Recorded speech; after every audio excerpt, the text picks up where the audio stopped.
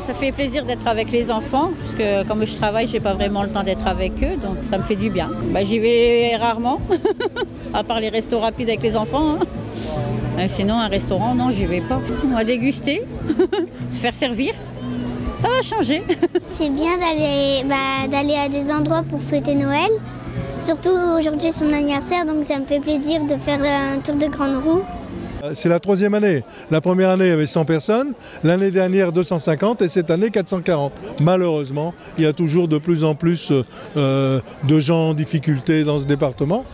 L'année dernière, puisqu'on a les chiffres de l'année dernière, le Secours populaire est venu en aide à 297 600 personnes dans ce département.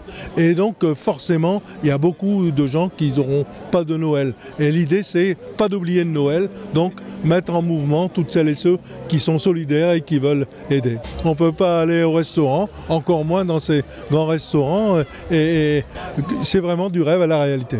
Là, en ce moment, euh, avec par exemple la société Ilévia, euh, près de la gare Lille-Flandre, il y a des collègues de jouets neufs. Euh, partout, il y a des choses. La semaine dernière, c'était que la société Kiwanis a doué.